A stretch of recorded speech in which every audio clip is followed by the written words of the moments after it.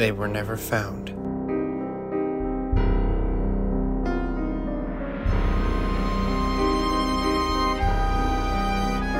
They say the suspect dressed as a mascot to earn the children's trust.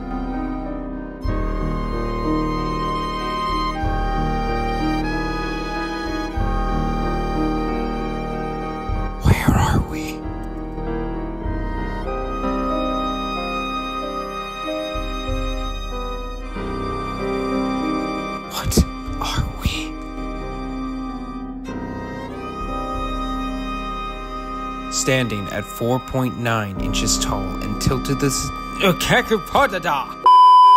Standing at 4.9 inches tall and tilted to the side with an open fanged muzzle, his eye patch flipped up to reveal a pair of glowing yellow pupils from the deep dark sockets as long pointed ears and tufts of fur stick out from his lifeless face. With a clear little ghost sitting at his shoulder and a gray hooked for a right hand. The left is a clenched metal fist as his bare endoskeleton legs stick out through tattered brown shorts.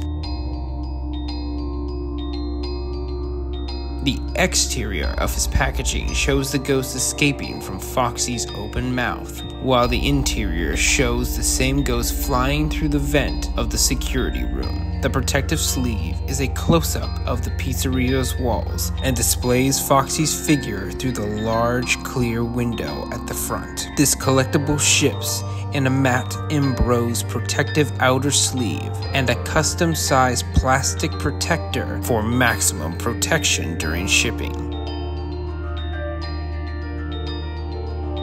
Youtooz consulted with FNAF fanverse game creator Kane Carter in the development of this haunted collection. His stance is a 10 out of 10, his design is a 9 out of 10, and his art is a 10 out of 10 fantastic figure. Thank you all so much for watching this video. Please consider subscribing, and I'll see you guys in the next video. Bye bye!